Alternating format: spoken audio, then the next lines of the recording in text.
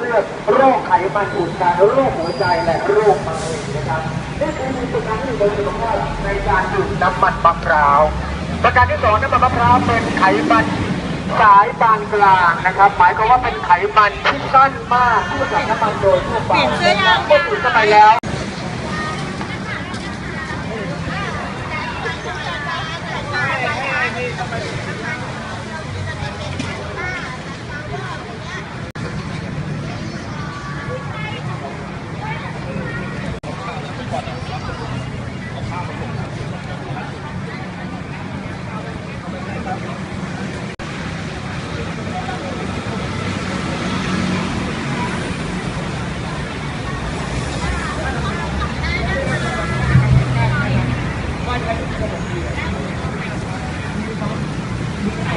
มีขายที่ฟูดแลนด์มีขายที่เดอะมอลล์แต่ราคาแพงกว่านี้นะครับ อย่างอันนี้ในห้างขาย